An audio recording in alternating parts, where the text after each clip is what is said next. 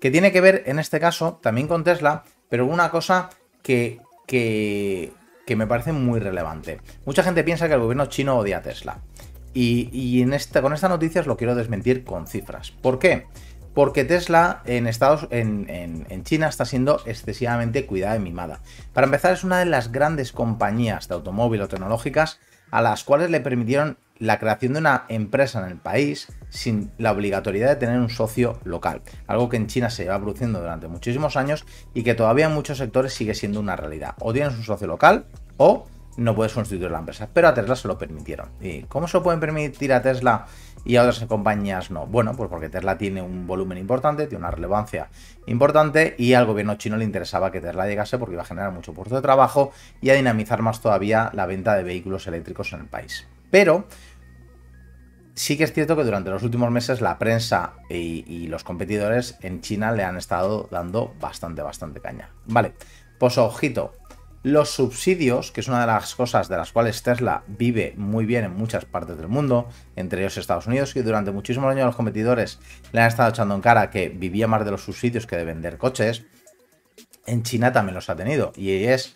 unos pagos que se comprometen los gobiernos por... Eh, es parecido a las emisiones de carbono. No dejas un subsidio por cada X coches vendidos eléctricos y ecológicos al, fabricante les le dan una ayuda. Bueno, pues esa ayuda en el año 2020 para Tesla en China fue de 329 millones de dólares.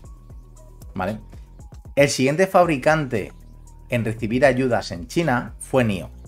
Y el importe de NIO fue 300 27 es un, o un 327% menos de lo que Tesla recibió por parte del gobierno chino en el año 2020 en subsidios. Por lo tanto, eh, empezamos a ver bastante, bastante claro que las diferencias, eh, ostras, mm, son significativas y que cuando pensamos que, el gobierno chino favorece siempre a los fabricantes chinos y que les cuide y demás, sí les cuida, pero si nos vamos a hace ocho meses y una semana, eh, se cerró el año 2020 con unos subsidios de 329 millones de dólares a Tesla en China. Por la construcción de la fábrica, por la venta de los vehículos, por los puntos de carga, para, por muchas cosas.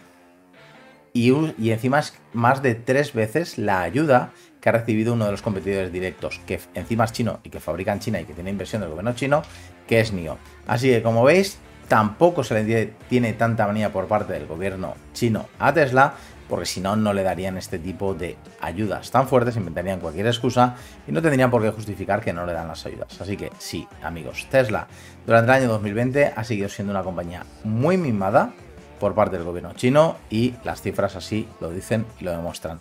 ¿Qué os parece? ¿Creéis lógico este exceso, cuidado y mimo a Tesla o no?